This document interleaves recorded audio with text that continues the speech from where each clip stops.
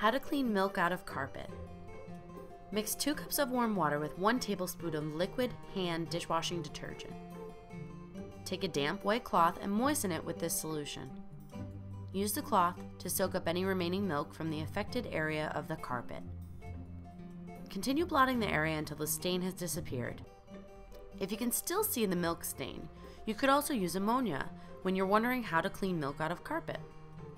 Mix 2 cups of warm water with 1 tablespoon of ammonia.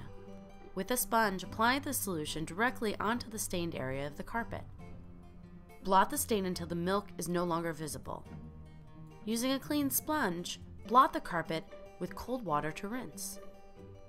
If you're looking for another do-it-yourself method, take a cloth, soak it in cold water, and scrub the area of the carpet where the milk soaked in. You can repeat this step as many times as you need until you've soaked up all of the milk from the carpet.